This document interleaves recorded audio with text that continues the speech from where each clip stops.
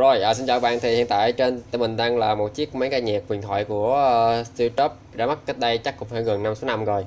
Thì đây là cái chiếc uh, iPod Touch ha. Thì mình thấy là vẫn còn xài tốt là tốt chán.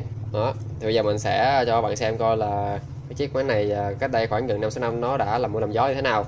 Thì có thấy là cái mặt trước của cái chiếc máy này nó na ná như là cái mặt trước của chiếc iPhone 4 hay là chiếc iPhone 4S thì do cái chiếc à, uh, iPod Touch này nó cũng được ra mắt đồng thời là cái chiếc iPhone 4S luôn.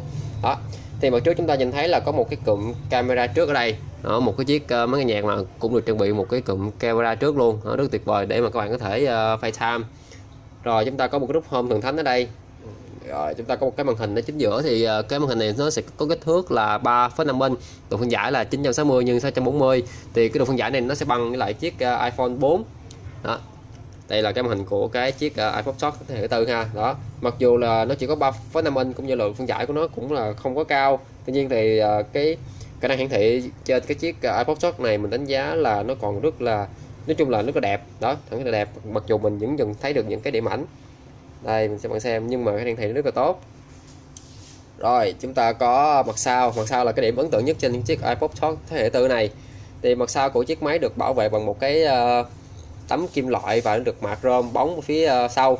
Thì uh, nhược ưu điểm của nó là nó giúp cho cái máy này nó luôn sáng bóng và nó tạo cái sự sang trọng của chiếc máy.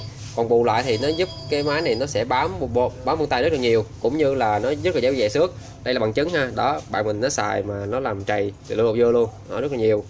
Dán tem đủ các kiểu. Rồi phía sau chúng ta có một cái cổng mic nhỏ đây và một cái cụm camera phía sau.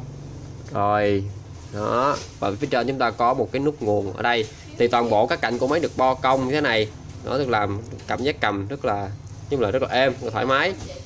Phía bên dưới chúng ta nhìn thấy là một cái dắt ta nghe 3.5 và một cái cổng 30 chân thần thánh, cổng sạc của ờ, iPhone 4 4S hay là chiếc iPod Touch của mình cầm trên tay đây.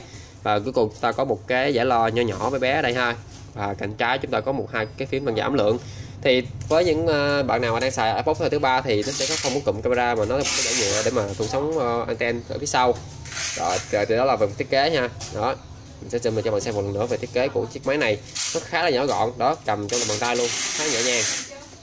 Bây giờ mình sẽ mở cho bạn xem ha. Đây là cái màn hình của nó. Đây chỉ cái vuốt mở khóa thần thánh của iPhone. Đây là cái giao diện ờ, của cái máy. Bây giờ mình sẽ vào một cài đặt cho bạn xem ha nó một cái giao diện cũng rất thần thánh luôn. Rồi hiện tại cái chiếc máy này mình để mình xem coi. Nó đang chạy là uh, iOS 6.1.6 và cái máy mình đang cầm trên tay là nó có phiên bản là 32 bộ nhớ 32 bộ nhớ trong.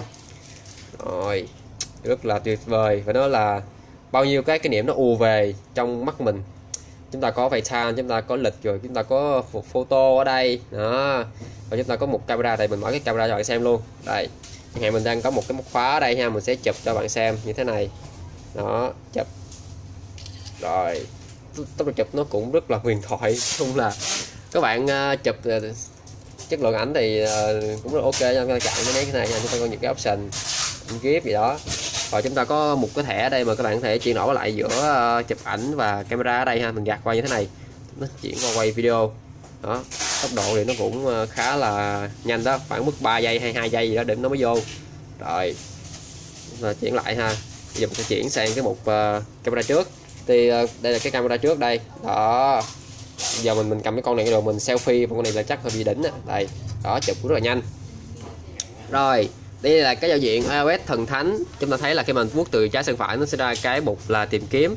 Cho bạn các bạn xem. Cái bàn phím nó cũng rất là quen thuộc luôn ha còn nếu mà vuốt từ ờ, qua đây thì đây là cái giao diện của cái máy. Đó.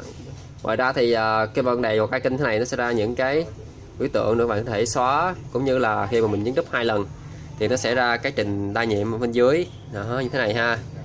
Còn bạn kéo qua cái lại như thế này, các bạn nhấn chữ nó sẽ xóa đi.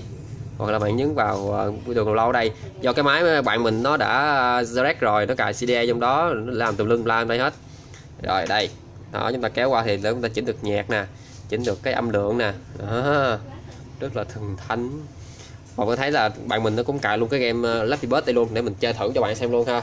Một chiếc ờ, iPhone thế hệ tư thần thánh. Đây. À, một cái tựa game huyền thoại. Ừ, chơi chơi. Ồ